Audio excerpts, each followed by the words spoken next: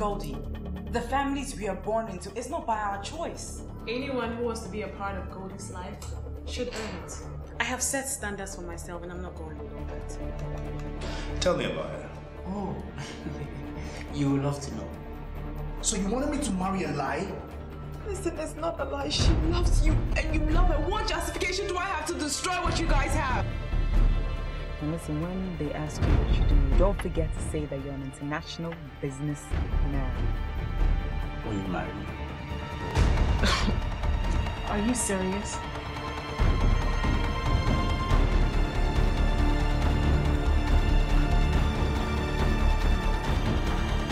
David, why didn't you tell me that Goldie saw you enter my room last night? Were you aware of that? Do you know she's moved out? And now she thinks I betrayed her. I fell in love with? Her body, her beauty, a relationship built on lies? I'm sorry, we tried our best, but uh, she couldn't make it. What's excitement, David? When at the end of the day, one of us is going to get hurt.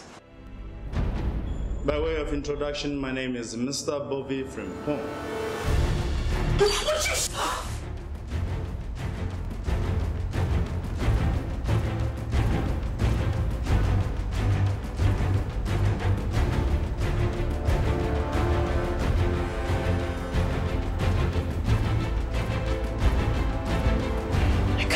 You're actually hanging with someone you know I'm interested in.